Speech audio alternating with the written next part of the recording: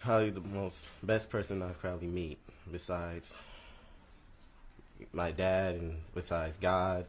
Tate was always, he was smart in class. Me and him used to joke around, me and him used to play. And then, news another classmate died. Oh, Justin. Justin.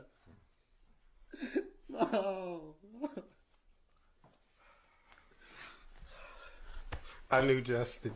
That was this boy.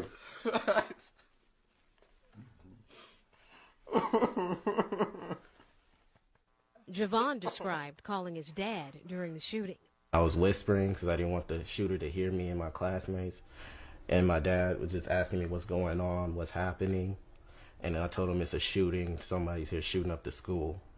And then he told me, he said, okay, I'm on my way. Why your dad? Is he your superhero? Yes. You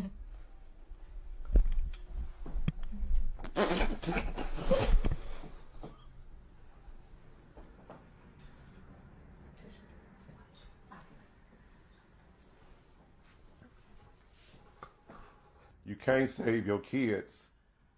That's devastating. I'd rather been the one that got shot than my kids.